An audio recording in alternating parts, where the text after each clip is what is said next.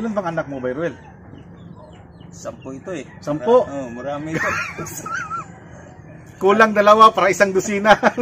Ate-ate sila. Lima ang babae, lima din ang lalaki. ah, balance, balance guys. Oo. Lahat may asawa na. Apat pa lang yung may asawa. Apat lang yung may asawa. Tapos sama-sama kayo lahat dito, hindi pa? Hindi na. Dito, dito kami lahat. Yung mga anak ko, dito rin nakatira.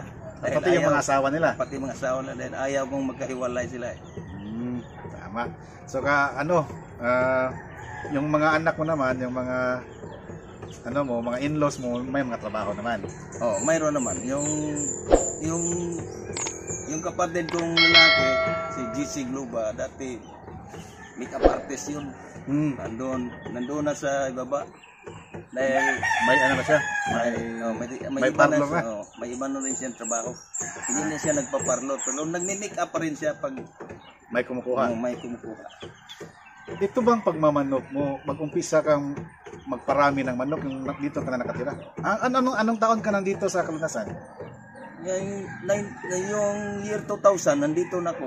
Yung Ah. bago kaming lipat, yung yung si Ar Marcos Arcambal at saka si yung si Apolinario Arcambal, yung nagdala sa akin dito na Hmm. pwede raw makatira dito. Tama.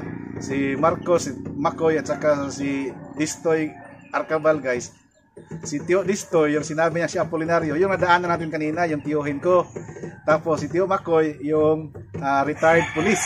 Oo. Eh dati guys, ina- in-invite din ako ng mga tiyo ko na bumili dito kasi sa Urban 4. Pero nung makita ko ito guys, talagang tingin ko, paano ko titira dyan? Kasi ganyan talaga yung bundok guys oh. Mahulog ako dyan. Sabi ko ganun. Kasi grabe talaga guys, gan ganun, ganun talaga no? Oo. Kaya nakita nyo naman kanina yung dinaanan natin guys. Pero ang mura lang. Pero sa tingin ko ngayon wala na no. Mayroon, mayroon pa man. Meron pa. Mayroon pa.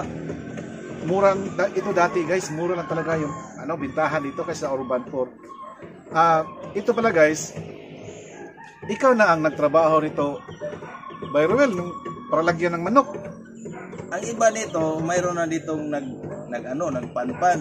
Hmm, Pero hindi na sila nakatira dito dahil takot sila din ba, baka landslide. Oh, mag, mag, baka mag-landslide eh. Bangin lang yan dito eh. Yun nga. So nag-give up sila. Yung yung yung mga ah, yung mga ano nila, tinarbaho nila, sinunod ko na lang, pinatubuan ko na ng kahoy, pinantayan ko ng maigi para hindi yung hindi nila makaingin sa ibang mga tao dahil mga tao dito ang negosyo noon Uling. uling. Oh, tama. So ito pala guys. Kasi Urban 4 to guys. Ah, ang may-ari gobyerno no. Mm. So protected area to guys. So ah, dito ma-develop na talagang pangmalakihan na development no. Hindi kay sabi nila bangil na dito mas delikado. Tama. So ang ginawa ni Byroel guys, ah ito. Ah, parang ginawa niyang hagdan-hagdan para may malagyan ng mga manok. At saka tinamnan niya ng mga puno. Ah, ah, unsa man nga puno? Anong puno to? mga binunga, yung hindi sisuning dapat sa mga manok kay para hindi sila mainitan kung kung hindi kung sisuning na naman mainitan sila kapag wala na yung mga Oo, tama. dahon. Tama. Yun pala guys, ah, binunga ang pangalan ng Oo. mga puno. Yung mga puno guys, ang tawag is binunga. Kasi sabi ni Byroel, maganda daw yung hindi seasonal na mga puno. Kasi yung seasonal guys, nahuhulog yung mga dahon. Oo. So tapos may time na talagang iinit, mainitan yung oo. mga alaga natin. Oo. Kaya yung hina, yung tinanim niya guys, yung hindi seasonal para all year round may shade yung mga alaga niya. So, ngayon guys, kung makikita mo dito sa personal guys, yung mga manok niya ang sisigla. Kasi ah, ano, makulimlim ngayon ang panahon guys, pero mafe-feel mo talaga na malamig dito dahil maraming puno. Very well, no? Oo, oo. Nung mag-umpisa ka dito sa kalunasan ng manukan, ilang piraso lang yung manok na pag-umpisa mo? Dalawa lang yun eh, dalawang babae at isang lalaki. No, trial yun. Oo. Saan galing yun? Yung dalawang babae galing sa amo ko yung si Don Mariano Lim doon sa Mandawi doon. Ah, Yung broodcock naman galing din sa kanya. Yung mga brown red niya. dati. Brown red? Oh. ah, so yun na nag-umpisa yung Oh, yun pagparami. nag-umpisa pagparami ko dito. Tapos bumili ka na ng mga bago. Tapos yung yung pinsan ko naman naka-abroad, siya ang bumili ng mga materialis para i-breeding dito. Kaya nakabili kami ng galing kay Birni Takoy. Yung galing kay Birni Takoy, yun yun ang iniwan ni Takoy doon sa pa, pa- pinsan na doon sa Lusaran nung nagdirby sila dito nung sinulog. Hmm. Eh, yata yun, 2018, 17 ba yun? Hmm. Kaya nandito yung inahin hanggang ngayon. May mga anak na at saka yung mga anak naman nag nagnanalo. Ah, so ano rin, may, may winning line talaga. Oh, may winning line talaga. Kaya hindi ko Yung, hindi yung, ko yung sinabi mo na iniwan, ano na, ah, nanalo na tapos, i- Ah, uuwi sila sa Ormoc. Iniwan niya yung mga materialis na sa pinsan niya doon sa Lusaran. ah, tapos doon ka kumuha. Oh, doon ang pinsan ko naman yung kumuha doon dahil sila ang magkakilala. Ah, so sila ang magpartner. Oo. Tapos ano pang ibang bloodlines na nandito, Byroel? May galing din ako kay ano kay Buya, Buya Russell.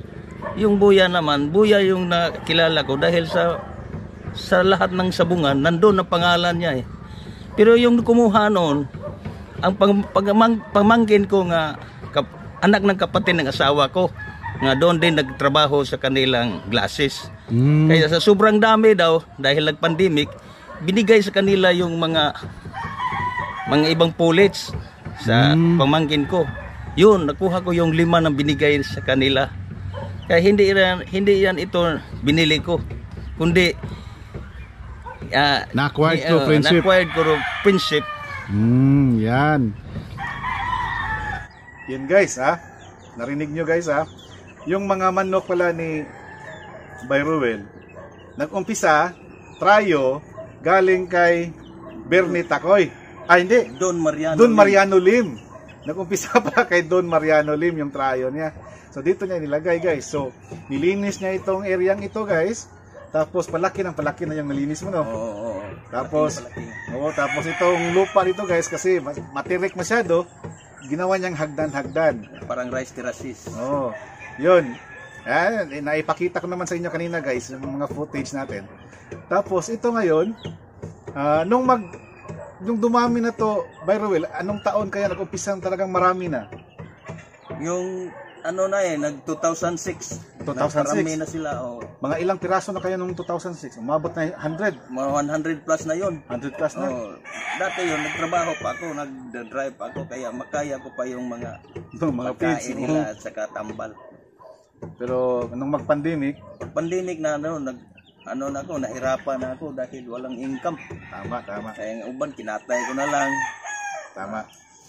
Yun guys, 2006, nung talagang mag-peak dito, dumami ng dumami. Ah, tapos, itong mga nakaraang buwan, by well, marami nang pumupunta na dito, no? Oo, marami na. May, Yung mga manok na dito, guys, hindi mo masasabi na pang big time. Kasi hindi man siya malaking farm, guys. Ah. Backyard lang talaga. Kasi guys, ito, ito pang ano guys ha, pag yung mga kakilala mo, yung mga matalik mong kaibigan, pag nalaman nila na marami kang manok, hindi man bibili yun, manghingi man yun. to, Di ba? totoo yan, Totoo. totoo yan. Wala bang ano dyan? Wala bang babae dyan? Wala bang ano dyan? May, wala bang siso? Nanghingi man yun. Kaya nga minsan guys, yung mga matatalik nating kaibigan, wag nating sabihin marami tayong manok. Kasi manghihingi. Tapos, itong masakit guys ha, itong masakit. Kasi pag pumunta tayo sa agribit, hindi man tayo manghingi ng feeds doon. Totoo yan. Bumibili tayo. ito guys, katuwaan na to guys ha. Kasi yun talaga ang natural, yung natural na nangyayari. Kasi kaibigan mo na, eh, hindi ka na mahihiya, di ba, Byron? Oo. Yun nga, minsan nga guys ha, dahil sa sobra yung katalik ng magkaibigan, hindi nang hingi sa'yo, pero papadalhan mo. So, Siyempre, Di ba? bisita yan eh. Bisita. Yan. Tapos, pag malaman nila na maraming manok si Byroel, ay palaging may bumibisita kasi ah, kakain tayo ng tinibuok doon. Alam nyo ba yung tinibuok guys? Yun ang lingwahe na sa Bisaya, tinibuok. Meaning, isang pirasong manok, ilalaga mo yan, tapos so, sa sarap ng sabaw nyo, Oh, no? sarap, sarap. Hindi mo icha-chop-chop yung manok, tapos ilaga mo ng buo. Ah, linisin mo na yung laman loob, di ba? Oo, oo. Tapos lagyan lang ng kapayas, papaya, luya, saka sibuyas. Sibuyas. Oo. Lagyan ng maraming sabaw, guys. Malunggay. Minsan malunggay, no? Oo. Dad, Tsaka pangad. sarap niyan, guys. Tapos, dito, sa ano niya, guys, from time to time, may umaakyat, may bumibili. Oo. Ang tawag namin dito sa Cebu, guys, panran. Pang panran. Oo, pangpandon. Panran kasi wala pang bukas na mga roida ba, anong mga ano ba, cockpit, arena. So minsan itong mga talaga yung Pilipino guys, naghahanap ng kung saan talaga ano, Saan sila may enjoy? ma-enjoy. Tsaka yung excitement. Mm. Yan. May tupadahan dyan sa ano. Tapos pag nalaman ng pulis, takbuhan sila lahat. So, kaya tawagan fun run. yan guys ha. So yun. Ilang piraso na lang tong natira dito sa mga manok mo ngayon na pwede mong i-share? Siguro na mga 15 na lang to. 50? Mm, kaya 15. 15? Oh, 15? yung mga broodcock, ay yung mga cock, siguro mga anim lang to. Yung Ah. namang stag, mga pito. Yung 15 piraso, mga stags yun, Beruel. Oh, yung yung 15 ay hindi. Yung stag siguro na nasa yun sa mga pito. Pito. At saka yung mga kak nasa mga walo o i- iba nasa i- i- iwan lang ko sa ano sa broadcock. Ah, Pag i, i- dagdag natin ang broadcock siguro nasa mga sampo ayan. Yan. Pero ang i-ano mo, ang pwede mong i-share, pwede mong ibenta, siguro mga 15. Oh, mga 15. May kak at saka may bulls, May ah, may, may bullstag at saka Oh. may stag. Oh, may stag. Tapos yung mga kakirels mo, meron din. Mga ilang Kung piraso na itong mga kakirels mo? oh, kung mayroong mag-acquire nito, pwede naman siguro. Hmm, pwede naman. Pero siguro ito sila mga ani asyam o walo. Kakirels. Mga, Kakirels natin. oh, yung kakirels natin. Mm. So, okay. Tapos yung mga babae, mga pullets. Oh, ay, kinatay ko na dahil Maraming pakainin. mara, pakainin. maraming pagkainin na hindi, hindi na kaya sa budget. Mm, yung naiwan, tama. yung mga inahin na lang. Ito, by the way, ito ang gustong mar- marinig ng mga subscribers natin, ng mga viewers natin. Magkano ba ang, kung sakali, ang bintahan dito sa mga manok mo? Pag ah, umpisa tayo sa kakirels, Sa every month, siguro na sila sa 500. kaya? 500 per month. 500 per month. Oo. Ah, tama. So, si, yun palang ibig mong sabihin. Oo. Ah, okay. So, pag 2 months, 1,000. Oh, Pag 1,000. 3 months, 1,500. Oh, 1,500. Ah, ganun. Ah, ganun pala yun guys. Tapos pag pagdating naman ng stag, mga 7 months hanggang 11 months, Ano, yun sa, ano, sa 2,000. 2,000. Oh, Mga stag na yun. mga stag na yan. Ah, 2,000. So, paglampas ng 3 months, pagdating ng 4 months hanggang 11 months, 2,000 yung presyo. Oh, oh, 2,000 na yan. Pag, pag, pag, pag one year.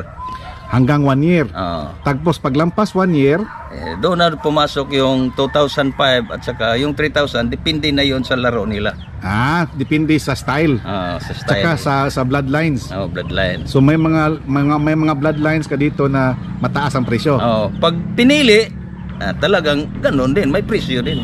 Pag ikuridas o Lazada, Ah, o, o, ratsada or, Oh. or whole- wholesale. oh, wholesale, ayun doon na sa nagsimula sa 2005. Ah, yan.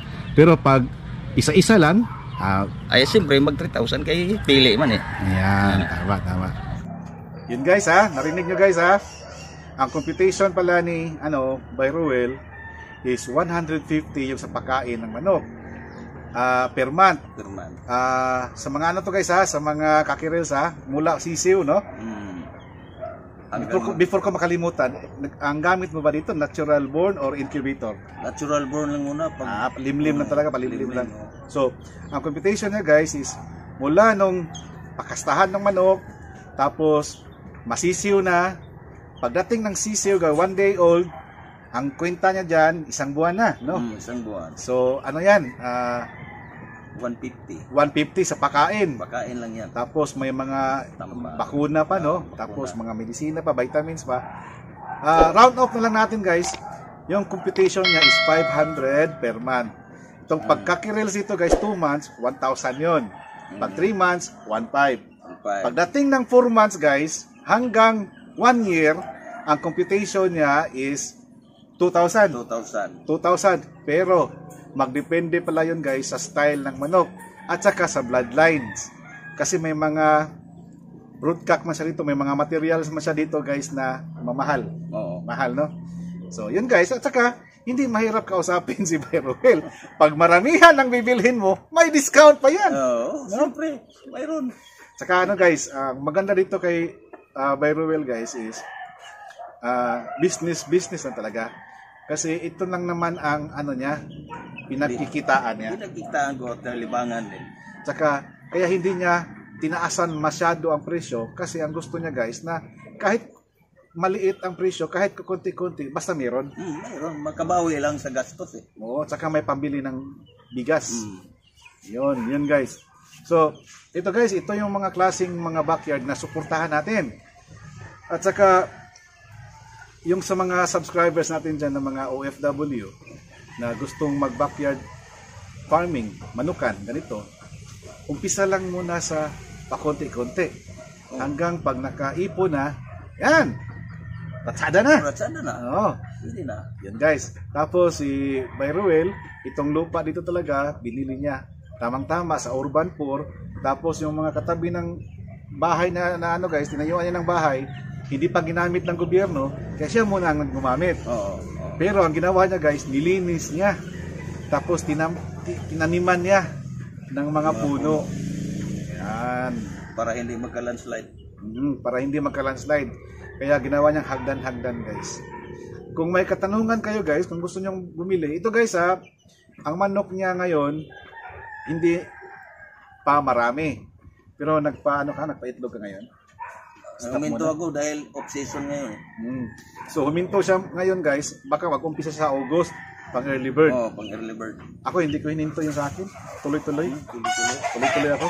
Kasi ah yung sa akin guys, hindi ko hininto, patuloy-tuloy ako guys kasi marami mang pumupunta doon, naghahanap na pang materials. Mm. Oh. So yung mga binibreed ko ngayon guys, pang off season is yung pang materials. Tapos by August siguro, umpisa ako para sa mga battle process. Oo, para makahabol tayo sa early bird. Ayan. Dati membro ako sa Sugbo, nagpadabog sa banding ako dito. Ah, pero ngayon hindi mo na banding. Hindi na bandingan dahil sa pandemic, hindi sila nakabisita dito. Yun guys, tama, tama. Marami kasi ngayon mga backyard breeders na hindi nakapabanding. Tulad sa akin guys, may mga kakirels ako, pero hindi ko napabandingan. Dati, bandit ako sa ano eh, BCGBE. BCGB. Oo. Tapos, IEC, International Slashers Cup. Mm. Pero ngayon, wala. Walang, wala ako na, hindi ako nabandingan. Hopefully, by, by next season, makapabanding ko. Siguro, sa next, next year. Next year. So yun guys, pag may katanungan kayo guys, nakay, nakay, na kay Facebook, no? Noon na, bro, na na ako monitor kay Banban na lang.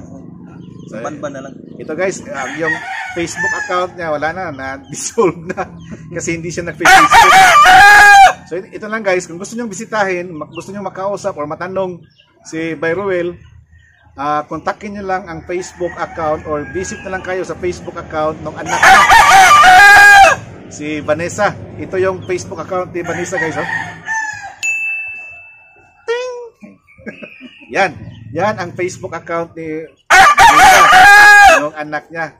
Kung mga may mga inquiries kayo guys, pang fun run na mga manok, mayroon pa siyang 15 piraso na nandito.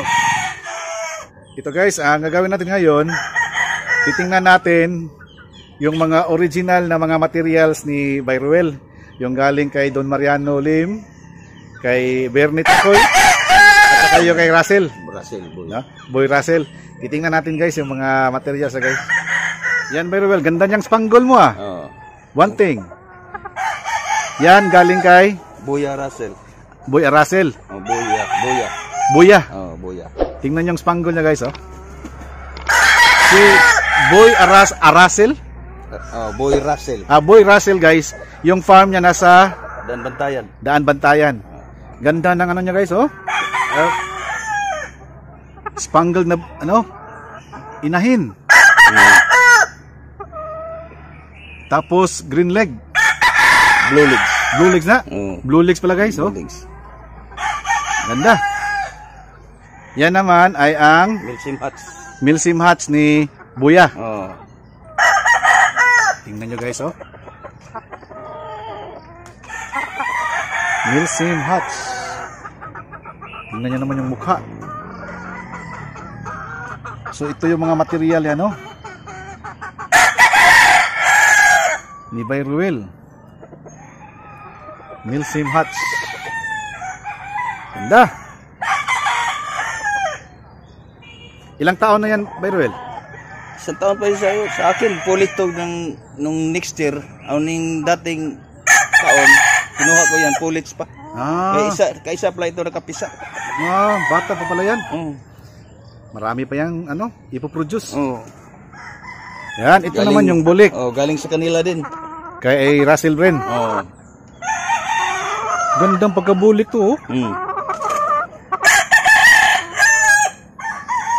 Meron kang mga, wala na ibayan, no?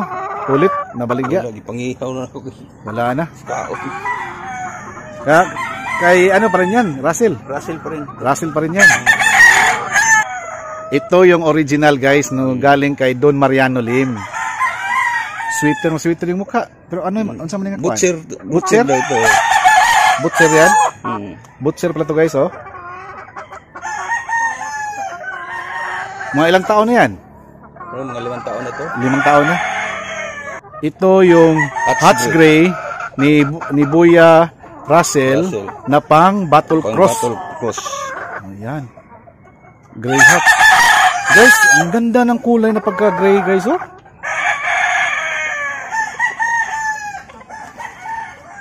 Wala kailain ni Nani. Bayul? Na, ah, pero laki. Laki. Mm. Wala ba eh? Na, wala. So, sa sunod siguro na ano. Ah, kapila na nakaagi. Kausap rin ka po siya. Kausap pala kapiso. Oo, kausap rin ka po siya. Di kan siya, di kan siya sila, Blue Legs. Blue legs. Ngunit pang battle kagla pag derby. Hmm. Nung ginailahang pang big time derby nga. Ang Dirty Dome galing ang anak sa galing kay kan Alex Samura. Alex Zamora, Dirty Dome. Ano? Anak to. Anak. Oh. Pero imo nang gi-broadcast di. Broadcast nga nito. Gawin kong broadcast. Gawin mo nang broadcast yan. Oh. Dirty Dome. Galing kay Alex Zamora. Yung ama nito galing kay Alex Samura. Yung ama, galing kay Alex Zamora. Ganda guys, oh. Dirty Dome.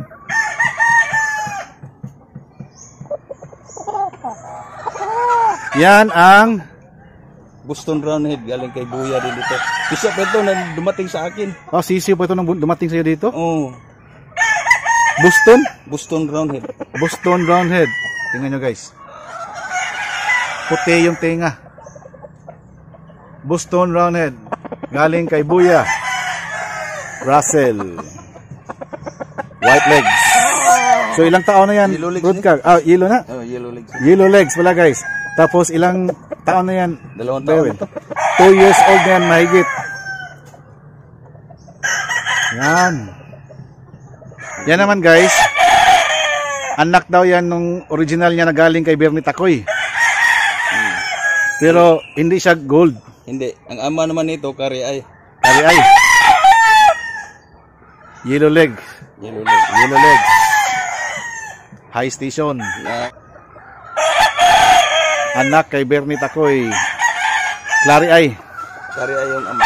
Yung ama. Hmm.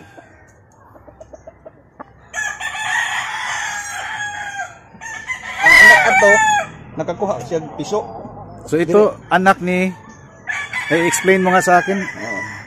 Yung ina nito, anak sa trayo na galing kay Sunny Lagoon, yung binili ng barangay captain doon sa Konsolasyon, galing Oo. Laguna. Galing Laguna. Oh, ang anak sa Prayo, itong ina nito. Hmm. Anong tawag nito ngayon? Masinkilso daw to. Machine Kilso? Oh, yung Prayo ang binili nila. Tingnan nyo yung mukha guys oh. Machine Kilso. Ngayon ako nakarinig nun guys ha. Tapos, legs. Yellow Legs. Ang ganda ng tindi guys. Winner na to guys. Winner na. Oo. Dalawang beses na to nanalo. Broadcast mo na to by will no? Broadcast to. Machine Kilso. Wala, walang, walang sisiw to ngayon. Wala, wala pa. Wala pa? Ah, eh, yung mga inahen dyan, yun ang preparar ko para sa kanila. By August. Oh, by August. Machine Kilso. Machine Kilso guys. Tingnan nyo.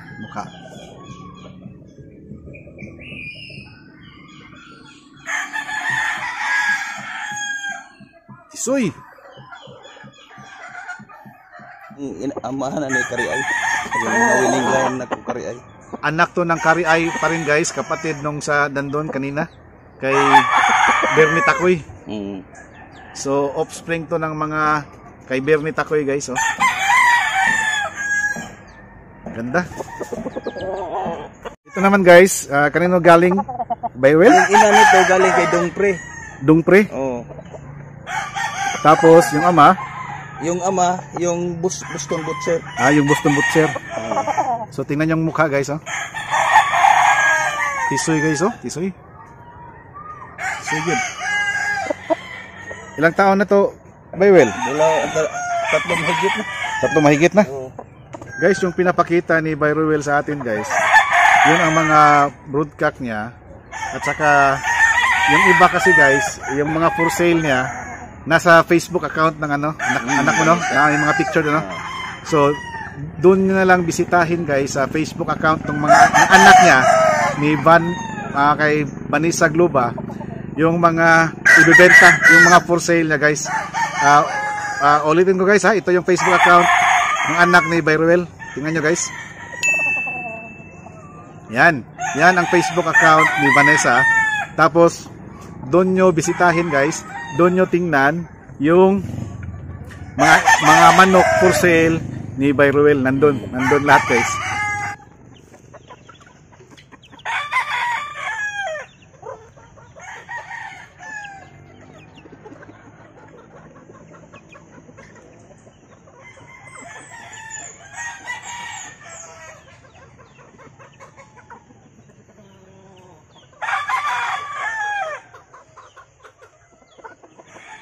Itong mga kakirils natin, anong bloodlines to? Anak nung ng Milsim Hats. Anak ng Milsim oh, Hats, Yung saka- ama, yung Red Claret na bardado kay galing kay Buya na rin. Ah, okay. Red. Red Claret yung galing kay Buya nga hiniram ko sa kanila. Kani balaw ni. Mm, balaw, Kani balaw. mm, balaw na nga blue legs. Balaw na blue legs. Doon. Anak na itong 3 months. mga 3 months old. Tapos yung iba 2 months old. Oh, 2 months old. Ang iba naman 1 month ito.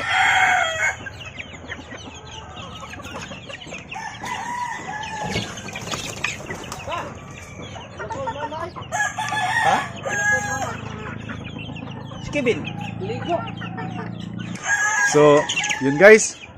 Ah, nabisita natin ngayon itong backyard ni Byruel. Byruel, salamat Byruel ha. Pwede pa yan. Oo.